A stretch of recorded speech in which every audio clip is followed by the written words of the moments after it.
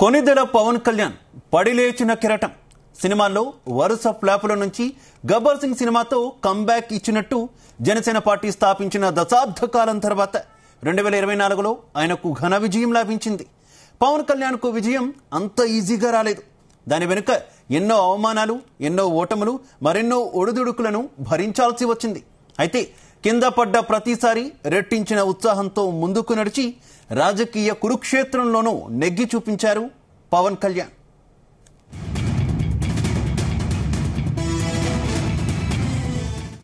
గాయపడిన సింహం నుండి వచ్చే గర్జన చాలా భయంకరంగా ఉంటుందనే సినిమా డైలాగ్ వినే ఉంటారు. పవన్ కళ్యాణ్ రాజకీయ ప్రయాణం చూస్తే అదే గుర్తుకొస్తోంది.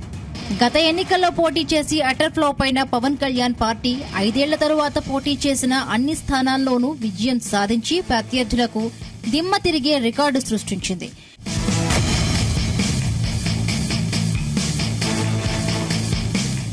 ఎన్ని అపజయాలు వచ్చినా కుంగిపోని ఎన్ని విజయాలు వచ్చినా పొంగిపోని నైజం పవన్ కళ్యాణ్ సొంతం. పవన్ కళ్యాణ్ రాజకీయ ప్రస్థానం చూసుకుంటే మార్చి పద్నాలుగు రెండు వేల పద్నాలుగులో జనసేన పార్టీని స్థాపించారు. రెండు వేల పద్నాలుగు ఎన్నికల్లో పోటీ చేయనప్పటికీ ఏపీ ఎన్నికల్లో టీడీపీకి కేంద్రంలో బీజేపీకి సపోర్టు చేసింది. జనసేన సపోర్టుతో ఏపీలో టీడీపీ కేంద్రంలో బీజేపీ అధికారంలోకి వచ్చాయి. రెండు వేల పంతొమ్మిది ఎన్నికలకు ముందు బీజేపీ టీడీపీల నుండి జనసేన మద్దతు విరమించుకుంది.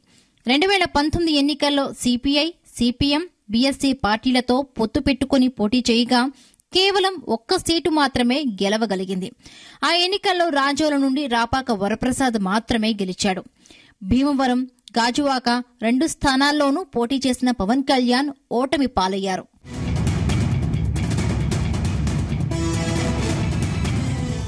ఆ తరువాత మళ్ళీ బీజేపీతో పొత్తు పెట్టుకున్నారు పవన్ కళ్యాణ్.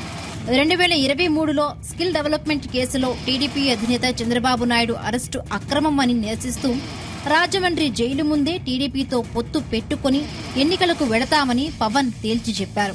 వైసీపీ వ్యతిరేక ఓటు చీల్చకుండా కలిసి పోటీ చేస్తామని టీడీపీ కూడా జనసేనతో పొత్తు కుదుర్చుకుంది. జనసేన తెలుగుదేశం కలిసి వెళ్తాయి వచ్చే ఎన్నికల్లో. ఇది మా- మా ఇద్దరి భవిష్యత్తుకు సంబంధించింది కాదు. మా ఇద్దరి భవిష్యత్తుకు సంబంధించి ఆంధ్రప్రదేశ్ భవిష్యత్తుకు సంబంధించింది. ఈ రోజు ఇంత అనుభవం ఉన్న వ్యక్తి బిల్ క్లింటన్ తీసుకొచ్చే బిల్ క్లింటన్ లాంటి వ్యక్తితో బిల్ గేట్స్ లాంటి వ్యక్తులతో ఇలాంటి అందరితో కలిసి ఒక సైబరాబాద్ ఒక సిటీకి రూపకల్పన చేసిన వ్యక్తి ఈ రోజు రాజమండ్రి సెంట్రల్ జైల్లో ఉండాలి నిజంగా చాలా బాధపడాలన్నాం రోజున ఇట్లాంటి అవినీతి ఆరోపణలు చేస్తా ఉంటే చాలా హాస్యాస్పదంగా ఉంది. మరి దీనికి ఎక్కడ చూసినా పోని అభివృద్ధి బాగుందా? మరి డెవలప్మెంట్ ఏమైనా ఉందా? ఉపాధి అవకాశాలు ఏమైనా వచ్చినాయా? ఇతను చెప్పిన హామీలు ఏదన్నా నిలబెట్టుకున్నాడా? ఏపీ ఎన్నికల్లో టీడీపీతో బీజేపీ కలిసి రావడంలో పవన్ కళ్యాణ్ ముఖ్య పాత్ర పోషించారు. రాష్ట్ర వ్యాప్తంగా టీడీపీ జనసేన అభ్యర్థుల తరపున ప్రచారం చేసి కూటమి పార్టీలకు అత్యధిక సీట్లు గెలిపించి గేమ్ చేంజర్ అయ్యారు. రెండు వేల ఇరవై నాలుగులో జనసేన ఇరవై ఒకటి అసెంబ్లీ రెండు ఎంపీ స్థానాల్లో పోటీ చేసింది. పోటీ చేసిన అన్ని స్థానాల్లో విజయం సాధించి రికార్డు సృష్టించింది. జనసేన పార్టీ స్థాపించిన దశాబ్ద కాలం తరువాత పిఠాపురం నుండి పోటీ చేసి ఎమ్మెల్యేగా పవన్ కళ్యాణ్ విజయం సాధించారు. ఇప్పుడు ఏకంగా ఏపీ రాష్ట్రానికి డిప్యూటీ సీఎం అయ్యే అవకాశం ఆయనకు లభించింది. పదేళ్ళ తరువాత పవన్కి విజయం దక్కడంతో మెగా కుటుంబం ఆనందంతో పొంగిపోతోంది. మెగాస్టార్ చిరంజీవి మాదిరిగానే పార్టీని స్థాపించి ఏదో ఒక పార్టీలో కలిపేస్తాడు అని పవన్ కళ్యాణ్ పై చాలా విమర్శలు చేశారు. కానీ అవేవీ పట్టించుకోకుండా ఓటములకు కుంగిపోకుండా రెట్టించిన ఉత్సాహంతో రాజకీయ క్షేత్రంలో నిలబడి పోరాడి గెలిచాడు. జూన్ పన్నెండున కొనిదెల పవన్ కళ్యాణ్ అను నేను అంటూ ప్రమాణం చేశాక రెండు తెలుగు రాష్ట్రాల్లో ఉండే జనసేన సైనికుల ఆనందం అంతా ఇంతా కాదు. గల పవన్ కళ్యాణ్ అనే నేను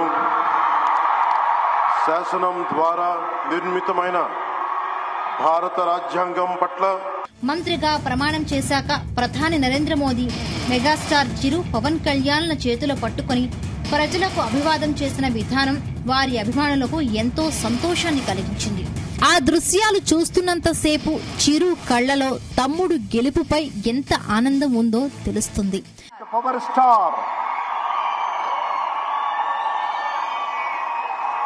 ఇది అరుదైనటువంటి చిత్రం.